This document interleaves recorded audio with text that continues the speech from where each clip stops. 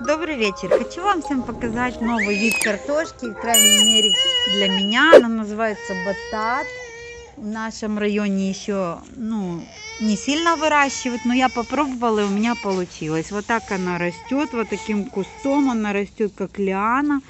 Ее пора копать, когда вот от корня начинает приподниматься земля. И лист уже засыхает, и поэтому уже пора копать. И вот у меня удалось несколько росточков, кустов 5 у меня было всего. Один куст я еще не выкопала, а эти я выкопала. Хочу поделиться, какая картошечка вот выросла у меня. Эта картошка называется батат. Моя знакомая варила эту картошку, она сказала, пюре невкусное. Оно сладкое, как получается, э, как подмороженная наша картошка. Но я не пробовала сама, ну, когда сварю, скажу. Она на вид такая красноватая шкурочка, внутри бело-кремовая такая.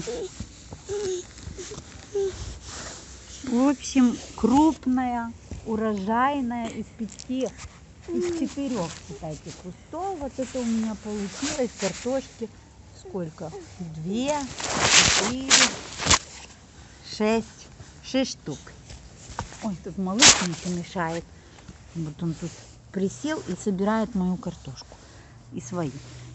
Шесть картошек из четырех кустов. Но ну, я ее еще неправильно, наверное, выращивала. Еще совсем не знаю, как ее выращивать. Ей нужно...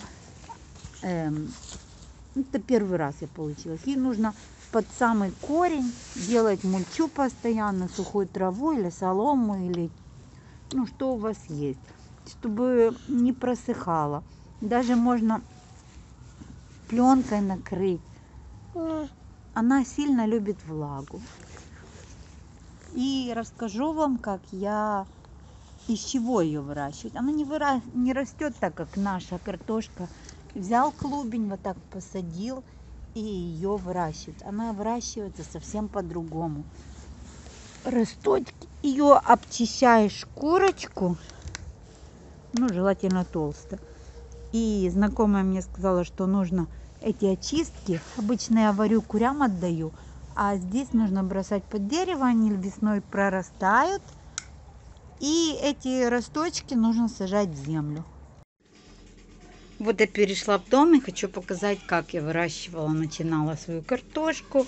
Э, вот такими росточками. Мне дали вот такие маленькие, правда, росточки. Это я оставила вам показать. Вот так они пускают корни. И вот эту часть с корнями садим поглубже в ямку. И затем сверху присыпала все время ну, мягко землей. То есть, если есть перегной, сыпец, ну, у кого что есть. Видите, как она наращивает корневую систему. Очень хорошо эти росточки. Ее можно еще выращивать как цветок. Он очень красиво цветет. Это картошка, батат. И смотрите, какая она в размере. На улице она казалась маленькая, а здесь она, видите, аж красноватая какая-то. Огромного размера.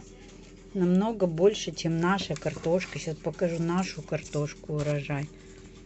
Наша стандартная картошка вот такая вот. Ну, у кого больше, у кого меньше. А батат, видите, насколько он больше. Это еще его называют батат топинамбур. Это тоже считается сладкая картошка. И батат тоже разновидность сладкой картошки. Я была в магазине, в супермаркете, в большом, крупном. И там стоит эта картошка. Называется она действительно батат. И цена на нее 129 гривен. Живу я в Украине, поэтому у нас цены в гривнах. А сколько в других странах, не знаю. Вот она чистится очень легко. Мне сказали, она очень вкусная в жареном виде. Вот такая вот. Сейчас разрежем и попробую, какая она на вкус будет в сыром виде. Я даже не знаю, что это вообще картошка. Сладкая, сладкая. Сейчас попробую. Вот эту картошечку сейчас я разрежу и посмотрим, какая она в разрезе. Одной рукой шикарно я могу ее резать. Тверденькая. Вот такая она вот в разрезе. Ничем не отличается от нашей картошки. Вот я кусочек отрезала, сейчас помою. И попробую, какая она на вкус. А на вкус она как морковка. Обалдеть. Я не ожидала такой вкус получить. Как морковка картошка.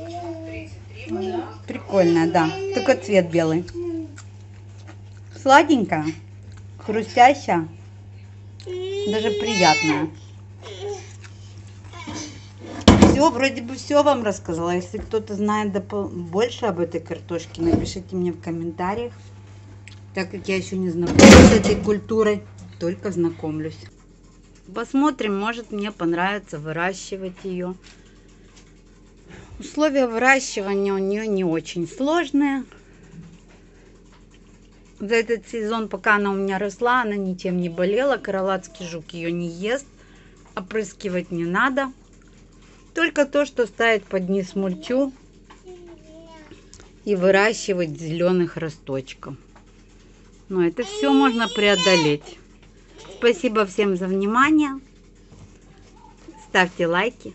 До свидания.